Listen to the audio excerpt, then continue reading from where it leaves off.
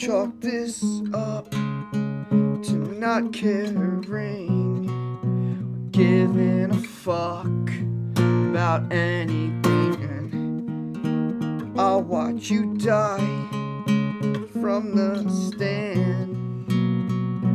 Ford Theater while Lincoln's head is spread. You rush him to town, his hat and his gown become sights for a tourist to see as he breathes his last breath. You wait on his bed,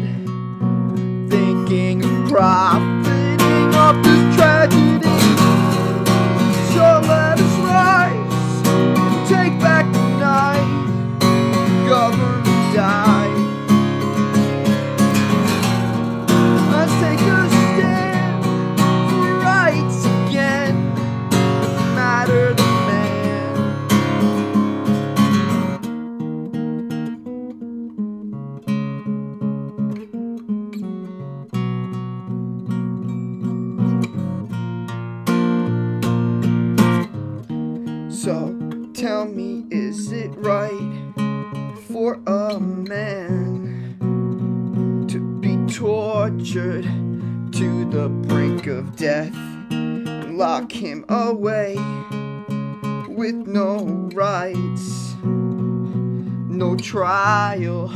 What do you say to that? Is it just? Is it right?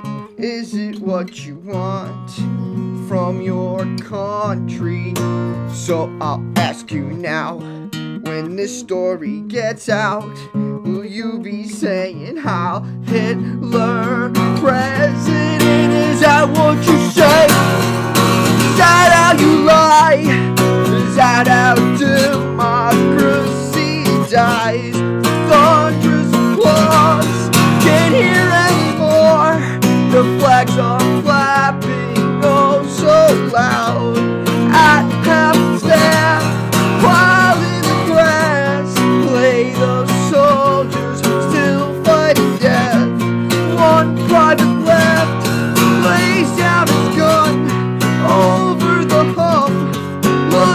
Heaven says, What have we done?